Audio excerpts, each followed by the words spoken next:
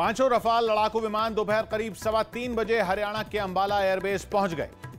Rafale विमानों के भारत पहुँचने पर पीएम मोदी ने गीता का एक श्लोक ट्वीट कर उनका स्वागत किया। रक्षा मंत्री राजनाथ सिंह ने किसी का नाम लिए बिना राफाल की आलोचना करने वालों की तुलना देश के दुश्मनों से की। सरकार ने कोरोना संकट के बीच अनलॉक थ्री के लिए दिशा निर्देश जारी कर दिए, जिसमें स्कूल, कॉलेज, मेट्रो और सिनेमा हॉल बंद रखने का फैसला लिया गया। अनलॉक थ्री में जिम और योग ट्रेनिंग सेंटर खोलने की इजाज़त दे दी गई। राजस्थान में गहलोत मंत्रिमंडल ने अब राज्यपाल को 14 अगस्त से विधानसभा सत्र बुलाने का प्रस्ताव भेज दिया। राजस्थान विधानसभा के स्पीकर सीपी जोशी ने राज्यपाल कलराज मिश्र से जयपुर में मुलाकात की। केंद्र सरकार ने नई दिशा, नई शिक्षा नीति को मंजूरी दे दी, जिसके तहत अब पांचवीं तक का सिलेबस मातृभाषा या उस इलाके की भाषा में भी होगा।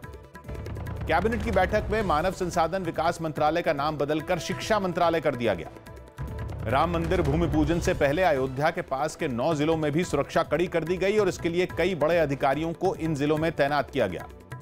अयोध्या में 5 अगस्त को भूमि पूजन का सीधा प्रसारण किया जाएगा, जिसके लिए वहाँ पर 20 एलईडी स्क्रीन लगाई जाएँगी। अयोध्या में मस्जिद के लिए मिली ज़मीन पर सुन्नी सेंट्रल वक्फ बोर्ड ने ट्रस्ट का ऐलान कर दिया। खबर है कि आतंकियों ने आर्टिकल 370 हटने के एक साल पूरा होने के मौके पर 5 अगस्त को मेढर में बीएसएफ कैंप पर हमला करने की साजिश रची है। 15 अगस्त के कार्यक्रम में शामिल होने वाले सभी अधिकारी और जवान अभी से क्वारंटीन कर दिए गए ताकि पीएम समेत सभी लोगों का कोरोना से बचाव हो सके। नए संसद भवन बनाने की परियोजना पर सुप्रीम कोर्ट में सुनवाई 17 अगस्त तक टल गई। सुशांत केस में रिया चक्रवर्ती के वकील ने सुप्रीम कोर्ट में एक याचिका दायर की और पटना में दर्ज केस को मुंबई ट्रांसफ़र करने की मांग की। महाराष्ट्र सरकार ने फैसला किया कि सुशांत केस फ़िलहाल सीबीआई को ट्रांसफ़र नहीं किया जाएगा।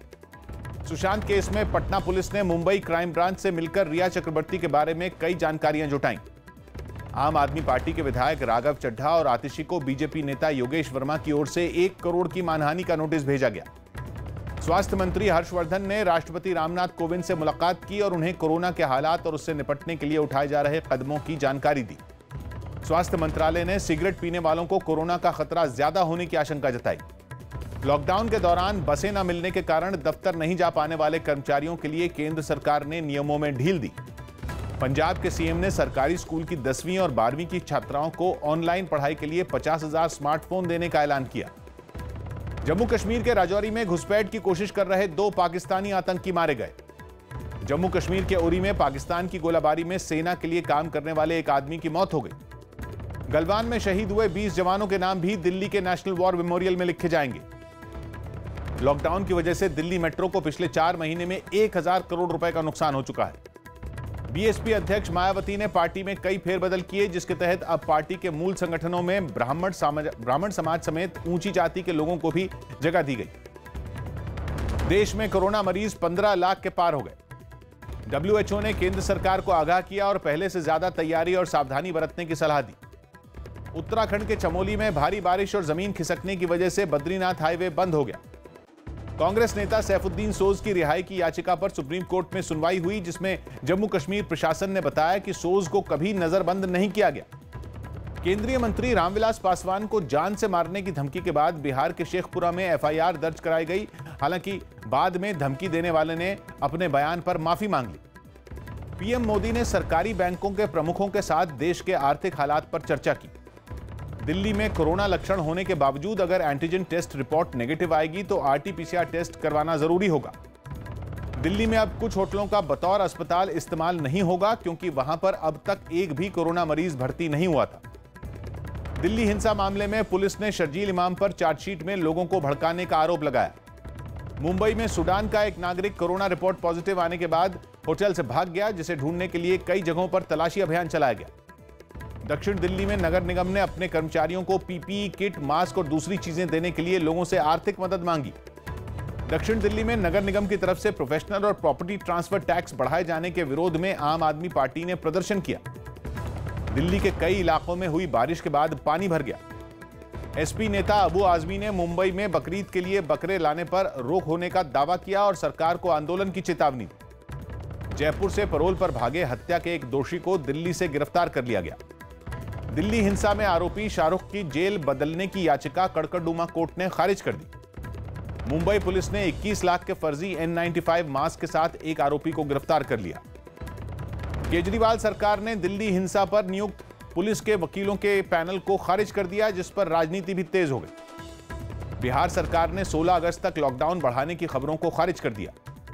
राजस्थान के राज्यपाल कलराज मिश्र ने कोरोना की वजह से फैसला लिया कि 15 अगस्त की शाम को राजभवन में होने वाला एट होम कार्यक्रम इस बार नहीं होगा। राजस्थान कांग्रेस के नए अध्यक्ष के तौर पर गोविंद सिंह डोटासरा ने कार्यभार संभाल लिया। मध्य प्रदेश के मंत्री तुलसी सिलावट और बीजेपी नेता सुहास भगत कोरोना पॉजिटिव पाए गए। राम मंदिर भूमि पूजन के दौरान आतंकी हमले की साजिश की खबर पर पूरे यूपी में हाई अलर्ट किया गया। उत्तराखंड में कोरोना की वजह से पुजारियों ने गंगोत्री धाम को 15 अगस्त तक बंद कर दिया। बिहार सरकार ने कोरोना की वजह से 15 अगस्त के कार्यक्रम में आम लोगों के शामिल होने पर रोक लगा दी।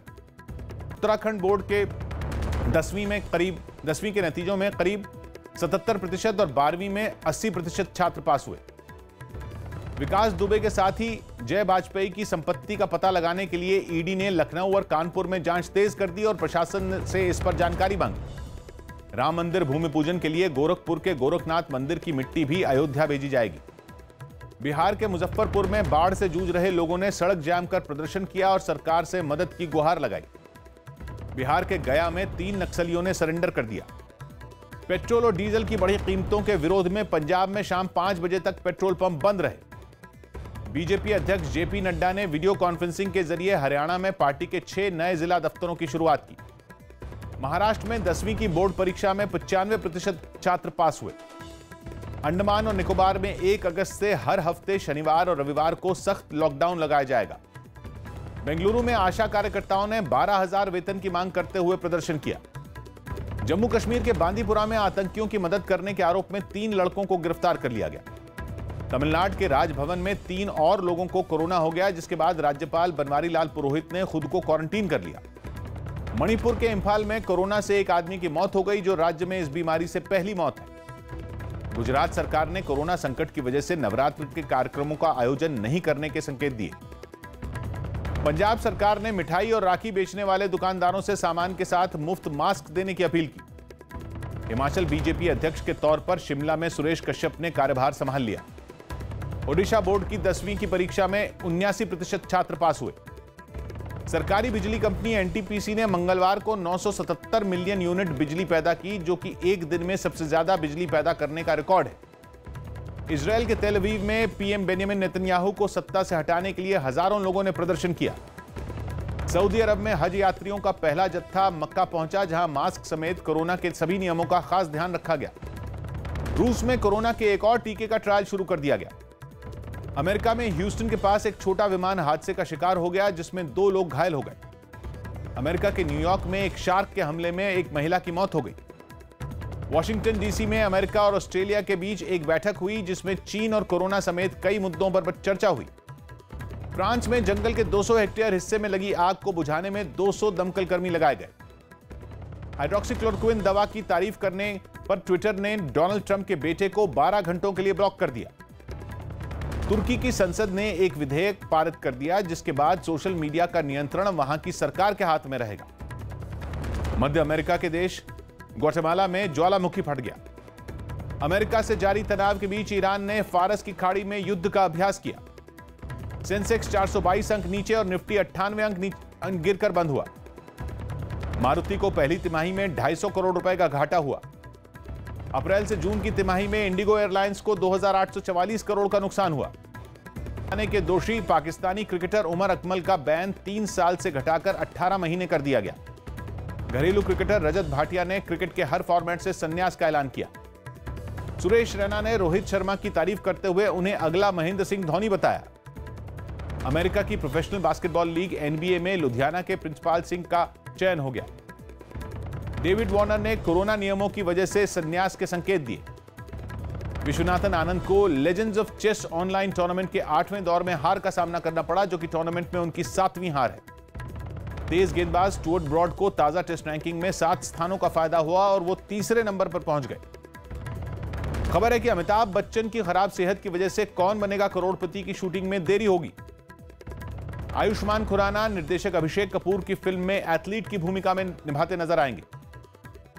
फ़िल्म केजीएफ चैप्टर टू में संजय दत्त के किरदार अधीरा का लुक जारी कर दिया गया।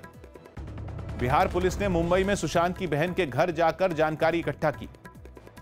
खबर है कि पटना पुलिस सुशांत के बांद्रा वाले घर पर छानबीन करने के लिए जा सकती है और जल्द अंकिता लोखंडे से भी पूछताछ की संभावना है। सोनू सूद और मनोज वाजपेयी ने बीमार चल रहे अभिनेता अनुपम श्याम की आर्थिक मदद की।